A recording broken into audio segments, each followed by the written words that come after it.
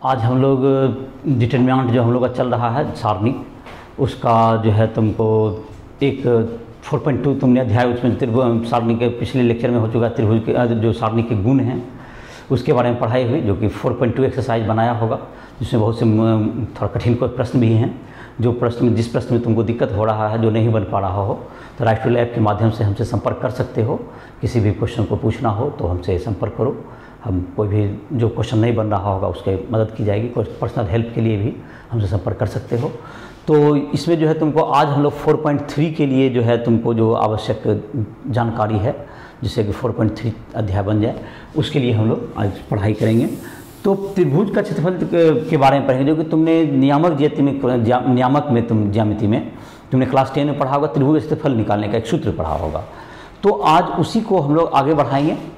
तो त्रिभुज का क्षेत्रफल का क्या होता है उस, उसको उसी को हम लोग सारणिक की मदद से पढ़ेंगे। तो उस क्षेत्रफल का जो सूत्र है उसको हम लोग सारणिक के मदद से हम लोग निकालेंगे। तो त्रिभुज का क्षेत्रफल हम लोग को क्या पढ़ते थे उसको देखें। जैसे एक त्रिभुज है तुमको जिसका कि नियामक है x one y one x two y two x three y three अगर नियामक ज्यामिति में जैसा कि एक्स वाई अक्ष दिया हुआ है इस ढंग से एक्स अक्ष इधर वाई अक्ष लेते हैं हम लोग। और यहाँ पर मूल बिंदु हो गया। तो इसके जो है एक्स वन वाई वन तो ये जो तुमको दूरी हो गया, इसका तीन नियामक दिया हुआ है ए बी सी त्रिभुज का क्षेत्रफल नाम लेते हैं। ए का x one comma y one इसकी नियामक है। बी का हो गया नियामक x two comma y two हो गया। और सी का जो नियामक है, वो x three comma y three हो गया। तो ये तीन बिंदु के नियामक तुमको दिए हुए हैं। तो इससे एक त्रिभुज बन गया। इस त्रिभुज का जो क्षेत्रफल हम लोग निकालते थे तो त्रिभुज का क्षेत्रफल निकालने के लिए अगर तुमको और सूत्र का कैसे बनता है तो देखो यहाँ से एक लंब डाल दिए इस पर, और यहाँ से भी एक लंब एक्स एक्स पर डाल दो, और इस बिंदु से भी लंब एक्स एक्स पर डाल दो। और इन तीनों बिंदु का नाम ले लो, मान लेते हैं कि पहला का नाम एल लेते हैं, लंब का एल यहाँ पर एम और यहाँ पर हो गया तुमको एन एल एम एन तो एल एम एन तीन बिंदु हो गए जिससे कि यहाँ पर लंब डाला गया। अब इससे तुमको बना तीन जो है दो समलम चतुर्भुज इधर बन गया और एक समलम चतुर्भुज इधर घट गया। अगर इस समलम त्रिभुज का क्षेत्रफल ई दोनों को जोड़ दें और इस तीसरे समलम चतुर्भुज के, के क्षेत्रफल को घटा दें तो हम लोग को जो बच जाएगा ये त्रिभुज ए बी सी का क्षेत्रफल हो जाएगा।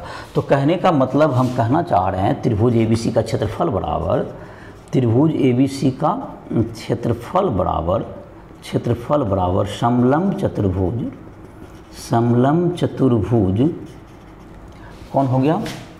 A L M B A L M C का क्षेत्रफल जोड़ समलंब चतुर्भुज समलंब चतुर्भुज क्या होगा तुमको? C M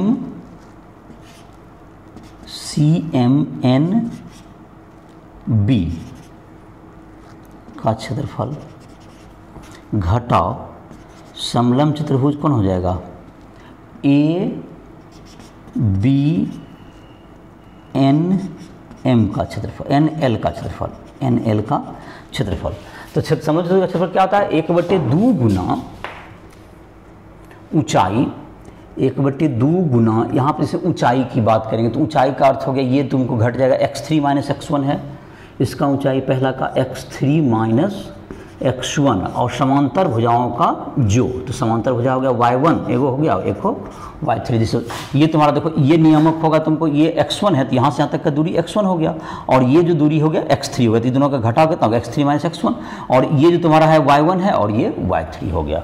फिर उसी तरह से हम लोग दूसरा का लिखेंगे, जो दूसरा समलम त्रिभुज है, जिसका पर लिखना है तो एक बट्टे दो, उसमें क्या घट जाएगा? X two minus x three हो जाएगा, ऊंचाई, और x y two plus y three हो गया, समांतर भुजाओं का जोड़ माइनस एक बट्टे दो गुना, इसकी ऊंचाई हो गई कितना? X three x two minus x one इसका ऊंचाई हो गया x two minus x one और y two plus y one ये हो गया इसका क्षेत्रफल।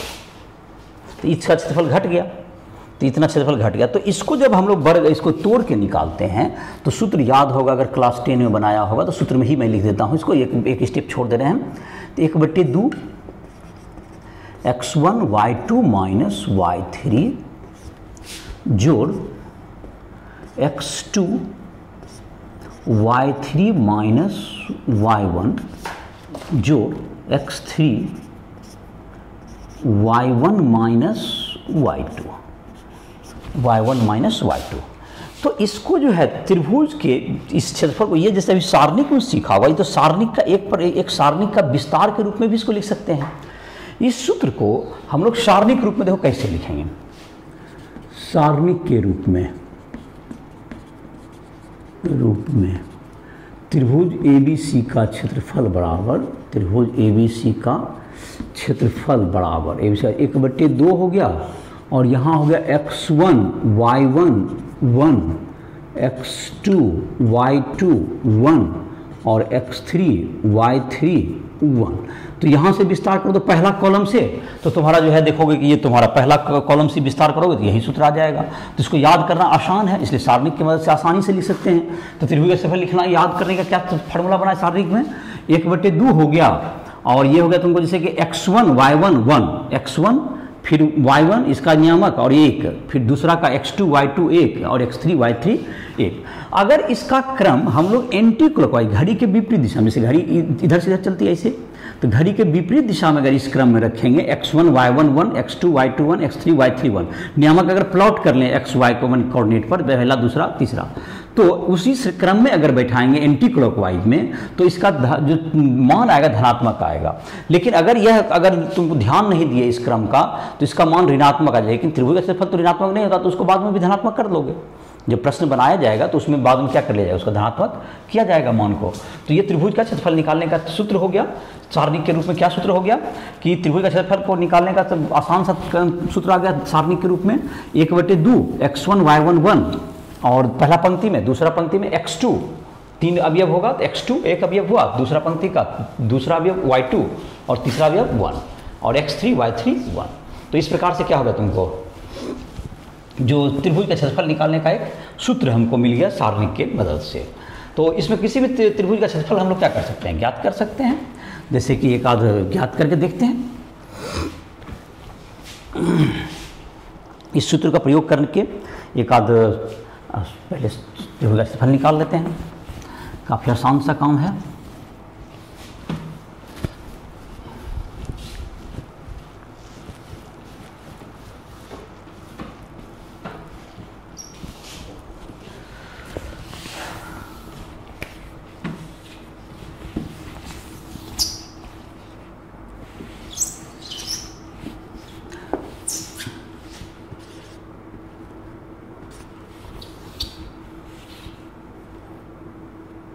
One zero comma zero zero zero one शीर्ष वाले त्रिभुज का क्षेत्रफल ज्ञात करें। तो जैसे कि इसको देखते हैं, जैसे बोले कि इसमें आंसर अगर तुमको पॉजिटिव ही आना है, देखो इसमें तीन शीर्ष दिया हुआ है, एक है वन ज़ीरो तो वन ज़ीरो तो यहाँ पर होगा, इस बिंदु यहाँ पर इसका बिंदु होगा एक्स अक्ष पर। एक है तुमको ज़ीरो ज़ीरो, जो कि मूल बिंदु ही हो गया, ये, और तीसरा है ज़ीरो वन। तो एक समकोण त्रिभुज बन जाएगा इसका। समद्विबाहु भी है, दो भुजा बराबर हो गया, और ये तुमको विकर्ण हो गया इसका, या कर्ण। ये तुमको ऐसे तो इसका ज़ाहिर है कि अगर हम लोग नहीं भी सूत्र निकालते तो एक बटे दो गुना चूँकि नब्बे डिग्री हो रहा है तो आधार गुना ऊंचाई। एक बटे दो गुना एक गुना एक एक। लेकिन इसका जहाँ तक क्रम की बात है तो अगर हम पहले रखते हैं ज़ीरो ज़ीरो को, फिर ये वन ज़ीरो को तो इसका धनात्मक आएगा मान लेकिन इस क्रम में अगर ध्यान देंगे तो इसका मान ऋणात्मक आ जाएगा। लेकिन फिर भी हम ध्यानात्मक कर सकते हैं। ऐसा कोई दिक्कत नहीं है। तो त्रिभुज का क्षेत्रफल क्या आ जाएगा? देख लेते हैं, त्रिभुज का क्षेत्रफल। सूत्र जो हम लोगों ने अभी पढ़ा, उससे बनाते हैं। एक बटे दो, यहाँ पर हो गया ज़ीरो ज़ीरो और वन हो गया। फिर हो गया वन, ज़ीरो और वन, और ज़ीरो, वन और वन। अब इसका विस्तार कर देते हैं यहीं से तो एक बट्टे दो हो गया, ज़ीरो ज़ीरो का तो खैर ज़ीरो गुना कुछ भी ज़ीरो ही हो जाएगा, ज़ीरो गुना कुछ भी ज़ीरो हो जाएगा, एक से विस्तार हुआ। तो एक का तो चिन्ह क्या हो गया?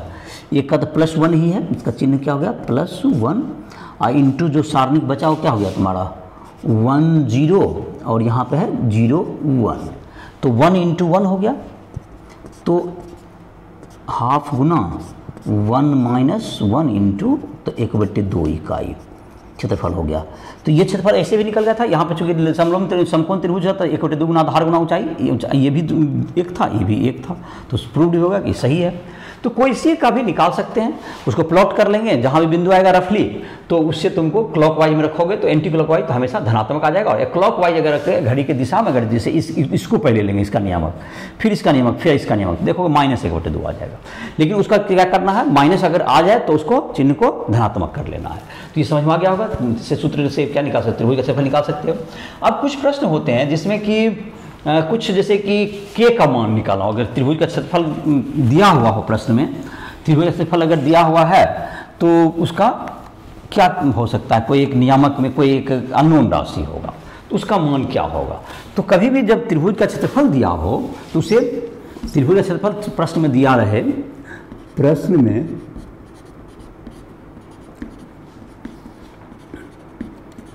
त्रिभुज का क्षेत्रफल दिया हो क्षेत्रफल दिया गया है, दिया गया हो तो उसे प्लस माइनस दोनों में लेकर बनाना, प्रश्न बनाना चाहिए। प्रश्न, पहला जैसे क्षेत्रफल तीन दिया होता है, एक बार तीन भी लेंगे, माइनस तीन भी लेंगे। प्लस माइनस दोनों को लेकर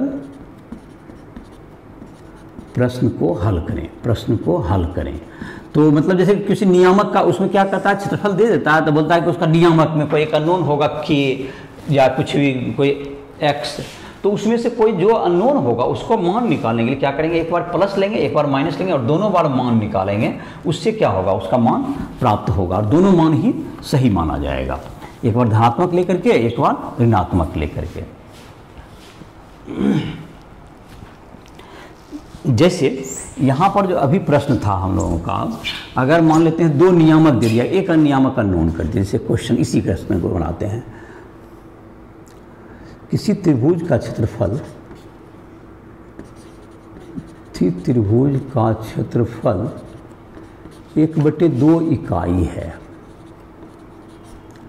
जिसकी शीर्ष ज़ीरो ज़ीरो वन ज़ीरो एवं ज़ीरो ए है। तो ए का मान ज्ञात करें।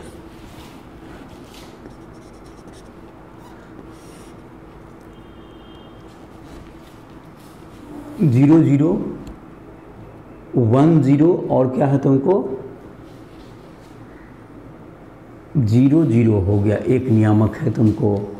दूसरा हो गया तुमको, वन ज़ीरो, और दूसरा हो गया ज़ीरो ए। नियामक दिया हुआ है तुमको, कौन सी सी है? ज़ीरो ज़ीरो है। वन, ज़ीरो और ज़ीरो ए। तो इसमें ए का मान चाहिए हमको। तो क्षेत्रफल जो हुआ, त्रिभुज का क्षेत्रफल का जो मान है, एक बटे दो इकाई है दिया हुआ। तो देखते हैं, त्रिभुज का क्षेत्रफल क्या होगा तुमको? क्षेत्रफल बराबर हम लोग लेंगे, एक बार प्लस हाफ़ एक बार माइनस हाफ़ दोनों लेंगे। और तो देखते हैं, त्रिभुज का क्षेत्रफल क्या होता है, सूत्र से?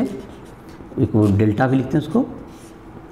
Zero zero one one zero one और ज़ीरो ए और वन। यहाँ पर जो दिया हुआ प्लस माइनस हाफ़ लेंगे प्रश्न से। क्षेत्रफल का मान प्लस माइनस हाफ़। या तो इसको प्लस माइनस हाफ़ के नीचे कर लो। क्षेत्रफल का मान अगला ले, में प्लस माइनस हाफ़। बराबर एक बट्टे दो। इसका विस्तार करते हैं। ज़ीरो ज़ीरो वन से विस्तार करेंगे तो चिन्ह तो प्लस वन हो गया। इसका और इधर डिटेनमेंट में क्या बचा? वन ज़ीरो और ज़ीरो ए। यही बचा। तो अब इसका जो है तो प्लस माइनस ये हाफ़ कट गया। तो प्लस माइनस वन बराबर ए बच गया। तो ए का दो मान आया। एक बार प्लस एक एक बार माइनस एक। दोनों मान रखना होगा। मतलब कि शून्य वन, ज़ीरो वन और ज़ीरो माइनस वन, ये दोनों मान सत्य माना जाएगा। तो इस प्रकार से इस तरह का प्रश्न बनाओगे। दूसरा है तुमको, प्रश्न जैसे कि तुमको रहेगा कि कोई इसमें रहता है कि तो जब समीकरण सरल रेखा में है, यानी कि तीन बिंदु जब सरल रेखा में होते हैं तो उससे जो कि कोई सरल रेखा अगर तीन बिंदु सरल रेखा में तो उससे जो त्रिभुज तो नहीं बनेगा। तो जब त्रिभुज नहीं बनेगा तो ए, ये बी है और ये सी है। ये तीनों अगर एक रेखा में होंगे अगर संरेख हैं ए कमा बी कमा सी संरेख हों तो उससे बने त्रिभुज का क्षेत्रफल शून्य होगा शून्य होगा। उससे बने त्रिभुज का क्षेत्रफल शून्य होगा। अगर संरेख होता है तो इससे क्या करना? त्रिभुज जो बनेगा, त्रिभुज ए बी सी का क्षेत्रफल बराबर शून्य। तो ए बी सी संरेख है। ये तुमको हो गया? संरेख का हो गया तुमको? तो ए बी सी संरेख प्रूव करने के लिए क्या करना है? जैसे कि प्रश्न एक देते हैं। Question. One, two two, three three four संरेख हैं, सिद्ध करें, ज्ञात करें। संरेख हैं या नहीं? ज्ञात करना है आपको। तो अगर ज़ीरो आ जाएगा, हम त्रिभुज का क्षेत्रफल निकालेंगे तो त्रिभुज एक बटे दो, एक बटे दो लिख देते हैं, संरेख, एक बटे दो, खैर तो लिखें ना लिखें। अगर एक बटे दो ऐसा त्रिभुज का क्षेत्रफल निकाल, एक बटे दो लिख दीजिए। One, two one, two, three, one, three, four, one. इसमें गुण का अगर प्रयोग करें, इसमें जो गुण का अगर प्रयोग करेंगे तो R two one two one हो गया। आर टू मार को घटा दीजिए। दो घटा एक क्या हो गया तुमको? ये भी वन हो गया।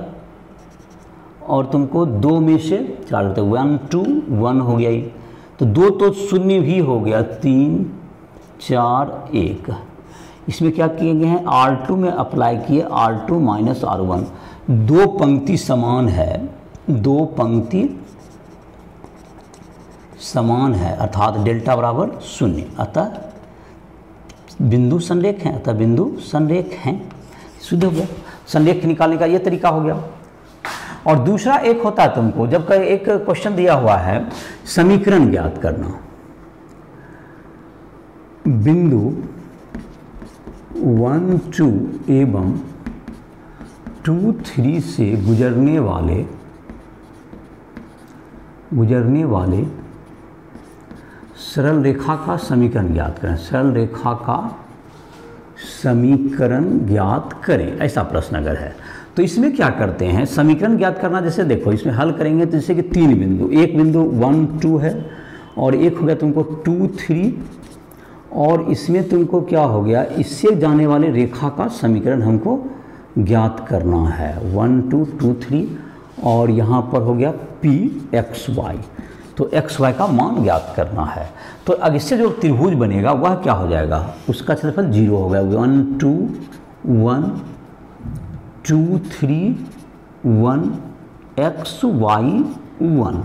इसका जो मान है, वह ज़ीरो कर दीजिए। इसका मान को शून्य कर देंगे। और इसका जब विस्तार कर देंगे तो शून्य त्रिभुज लेखा में तीनों बिंदु एक एक्स वाई मान लेते हैं कभी समीकरण निकालने के लिए। और इसको जो हल कर देंगे तो क्या हो जाएगा? ये निकल जाएगा तुमको। इसका जो हल करेंगे तो ये एक्स जैसे तीसरा पंक्ति से करते, किसी पंक्ति से कर सकते हैं।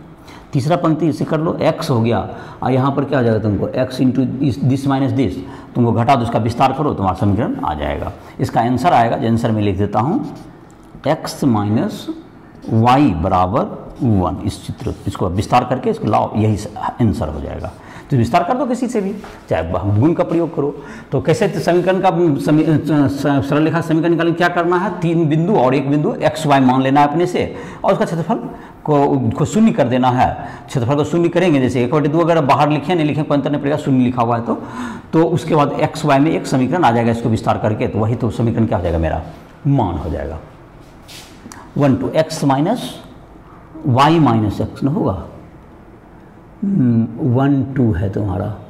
तो आंसर हो जाएगा वाई माइनस एक्स बराबर वन हाँ। Y minus x is equal two ये समीकरण हो जाएगा तुमको। हाँ विस्तार करके देख लोगे। Y minus x is equal to one y minus x is equal to one यही आंसर आना चाहिए। उसको विस्तार करके देखो। तो इसी के साथ मुझे लगता है कि तुमको समझ में आ गया होगा। इस क्षेत्र में फोर पॉइंट थ्री तुम अब जो है एन e का उदाहरण एक्सरसाइज तुमको होमवर्क हो गया। एन e का उदाहरण एवं एक्सरसाइज 4.3 बनाना है। तो ये तुम 4.3 बना लो, आसानी से बन जाएगा। तो 4.4 भी बहुत छोटा ही चैप्टर है। और 4.5 थोड़ा बड़ा है, उसमें ज़्यादा ज़्यादा गुना भाग है। तो इसी साथ इस लेक्चर को समाप्त कर रहे हैं। तुमको कोई भी दिक्कत होता है राइशुल ऐप के माध्यम से हमसे कोई भी प्रश्न पूछते हो फिजिक्स केमिस्ट्री मैथ के फिजिक्स केमिस्ट्री मैथ का कोई भी न्यूमेरिकल बनाना हो क्वेश्चन बनाना हो, या न्यूमेरिकल हो, या कॉन्सेप्ट समझना हो किसी का भी फिजिक्स केमिस्ट्री का, तुम हमसे संपर्क कर सकते हो। तो इसी साथ इस लेक्चर को राइशुल ऐप पर हमारा फ़ोन नंबर ई सब दिया हुआ है। तुम कब, जब भी चाहो हमसे संपर्क कर सकते हो लाइव क्लासेज ज्वाइन कर सकते हो। इसी साथ इस लेक्चर को समाप्त कर रहे हैं।